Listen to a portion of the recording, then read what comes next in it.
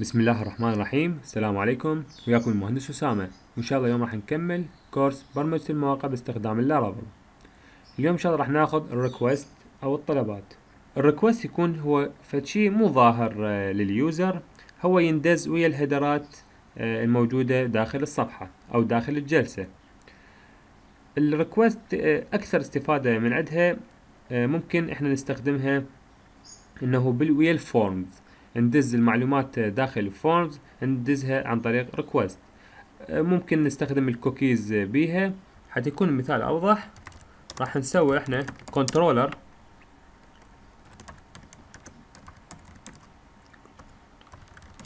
ونسميه مثلا request request controller. هاي صار عندنا ال controller حنسوي بيه function ات اثنين. راح نسوي بيه آه، function ات اثنين. الأولى راح تعرض لي محتوياته لل لل request والثانية راح نستخدمها إحنا ويا ال form. آه، مثلا نسميها view request. Function آه، view request. وال function الثانية خلينا نسميها register.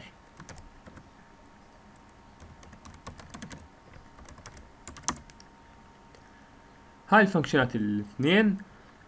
الأولى بما أنه نتعامل ويا ال request فلازم ال request يدخل داخل ال function فيدخل عن طريقة التالية نكتب request ونسمي فد متغير مثلا اسمه request ونفس الشي بالنسبة لل register إنه لازم أكو فد آه، متغير اسمه request من نوع request فكل ما نتعامل بالكنترول ويا request ات لازم إحنا نخلي ال request يدخل ضمن ال function وذاك متغيرات لو نخلي فارزة ونكتب أسامي المتغيرات اللي نريدها وراها.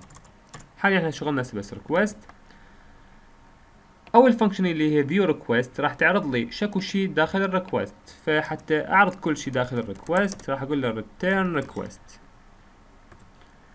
وأنطي all.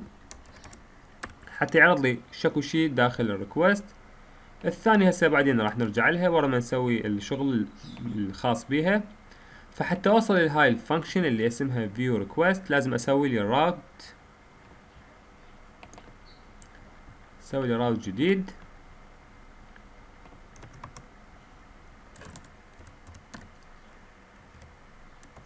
ال route get نسمي مثلا get وال controller اللي اسمه هو request controller.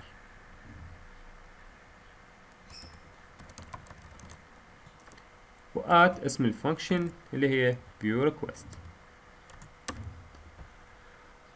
فايل الرابط الأول اللي اسمه get راح يطلع لي ال function اسمها view request. اللي راح تستعرض لي محتويات ال request index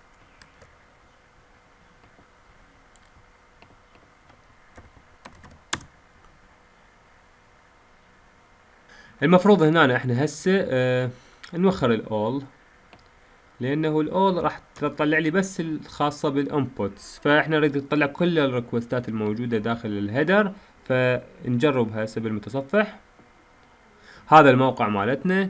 إذا نكتب slash get نلاحظ إنه حيطلع لنا كل ال header. إنه قال لي get نوعية ال HTTP شنو هو؟ Applications. ال headerات كلها قاعدة تندز. شوفوا كل الهيدرات موجودة حتى ال token session مالتنا والمتصفح. يعني كل المعلومات اللي تخص الجلسة اللي إحنا بها حاليا. خلينا نستفاد منها. مثلا إحنا نريد request نريد بس الرابط اللي إحنا بيه حاليا. فنكتب request هاي علامة URL. فال URL راح يرجع لي الرابط اللي أني بيه حاليا. فإذا نسوي refresh لاحظ إنه نفس الرابط اللي أنا بيه http log slash div. هاي مرات نستفاد منها إنه إذا نريد نشيك في شغلة معينة. وهاي واحدة من الفوائد اللي نستفاد منها من ال request نجي على الشغلة الأهم بيها إنه شلون نستخدمها؟ ويا ال forms فخلينا نسوي لنا إحنا فد صفحة جديدة. فد resource view. نسوي لنا صفحة خلينا نقول اسمها login ف new PHP file login dot blade dot PHP ونسوي لها فد route جديد.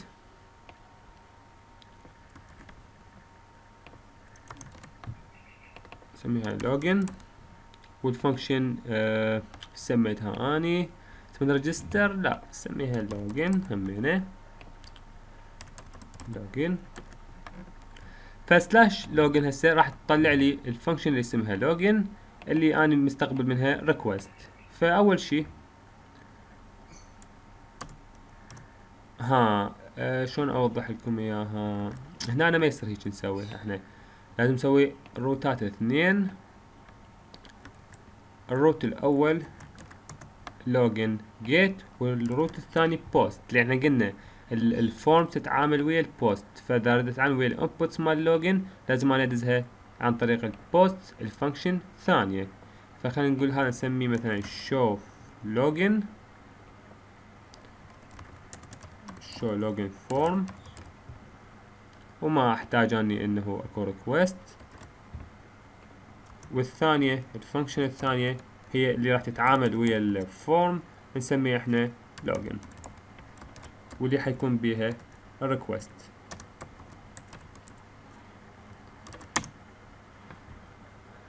خلينا نقول له هسه حاليا return request. ونقول له all. بما إنه all معناها حيعرض لي آه، شكل array كل محتويات ال input مالتي. ال login form هي راح ترجع لي view return view. ال view مالتنا اسمه login. هسه ال view إحنا مالتنا فارغ حاليا. خلي نمليه معلومات. نسميها login test. ونسوي لنا فد form. ال form حيودي المعلومات المن الصفحة اللي اسمها login. لما جبت هذا الاسم اني جبته على أساس ال routes اللي عندي. إنه هنا راح أدز المعلومات ال function اسمها login وهنا هاي اسمها show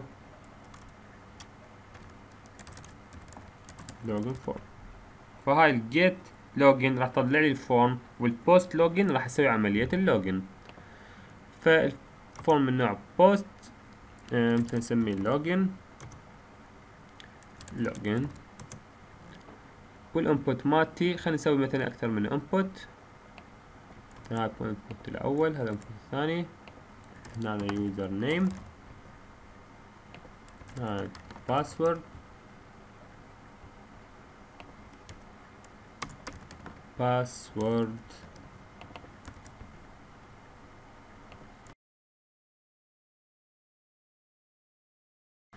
المهم هذا فد form بسيط.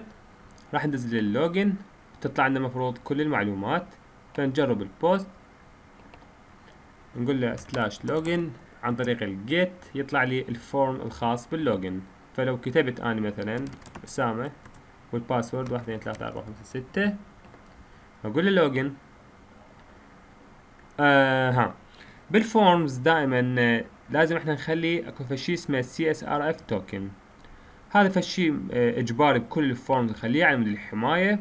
فبداخل ال form مالتنا هذا ال form اللي عندنا نخلي فد ورا البداية مالته نخلي هيك كتابة إنه CSRF field هذا حيسوي لي ال form ال input الخاص بال token لأغراض ال security فنرجع مرة ثانية. إذا نقول له اسامة password واحد اثنين ثلاثة أربعة خمسة ستة أي رقم. أقول له login لاحظتوا إنه هو وداني على صفحة ال slash login عن طريق ال post وعرض لي ال token وعرض لي ال username مالتي وعرض لي ال password. فبهيك حالة إحنا قدرنا نستدعي المحتويات ال request وعرضناها على الشاشة. لنفرض أنا أريد بس ال username ما اريد بقية المعلومات فنقدر إحنا عن طريق ال request عندنا عند عندنا طريقتين حتى نقدر ناخذ ال input ونتعامل وياه. الطريقة الأولى مثلا نسوي طريقة اسمها request username ناخذ من ال request واكتب input.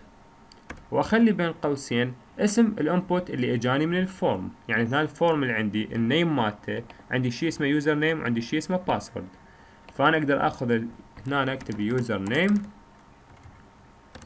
فهسه أنا أخذت ال input الأول. أقدر أسوي مثلا password يساوي آخذ من ال request input password. هاي الطريقة الأولى اللي أنا أقدر أخذ محتويات ال input.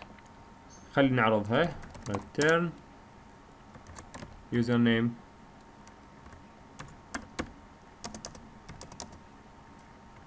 dot password خلينا نلغيها. فهاي الطريقة الأولى اللي أنا أقدر آخذ المحتويات مال ال input من ال request نسوي refresh ونجرب. نقول له login نلاحظ طلع لي ال user 2 وال password مالته. الطريقة الثانية إنه أنا محتاج أنا أكتب ال input يعني شلون؟ يعني أقدر أكتب رأسا username شو يساوي؟ يساوي request ورسم اوصل لل property مالته عن طريق كلمة username فاني ماكو داعي إنه أكتب input اسم ال username وأقدر أرسل ال password همين بنفس الطريقة. عفوا password يعني اوصل مباشرة عن طريق اسم ال input الموجود داخل ال form. نسوي refresh ونعيد نفس العملية. هنا نقول له user password نقول له login طلعت لي نفس النتيجة. فهسه عرفنا إنه ال form شلون نأخذ محتويات ال inputs اللي بيه عن طريق request input أو عن طريق request واسم ال form. هاي أهم شيء آه، يخص ال request إن شاء الله بالدروس الجاية راح نقدر نفتهم أكثر وأكثر من خلال الأمثلة اللي راح نسويها. أي سؤال استفسار تقدروا تطرحوا بالتعليقات أو على مواقع التواصل الاجتماعي الظاهرة أمامكم على الشاشة. like للفيديو subscribe للقناة. تحياتي لكم. مع السلامة.